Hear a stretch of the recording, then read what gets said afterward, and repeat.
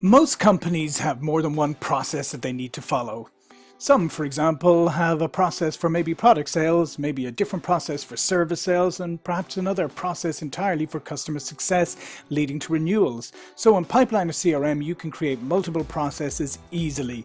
You just go to the admin section, and the admin section can be accessed by clicking on this cog in the far top right-hand corner of Pipeliner.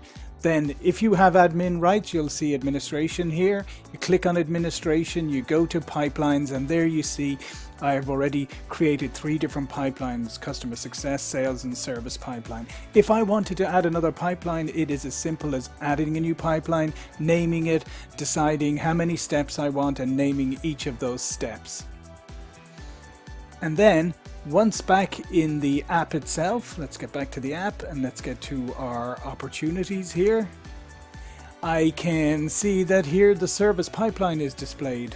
Now, if I want to see a different uh, a different pipeline, I just go to the power panel and I select a different pipeline. Here's the sales pipeline, or maybe I want to go to the customer success pipeline. See, it's as simple as that. I can easily switch between the different pipelines from the power panel.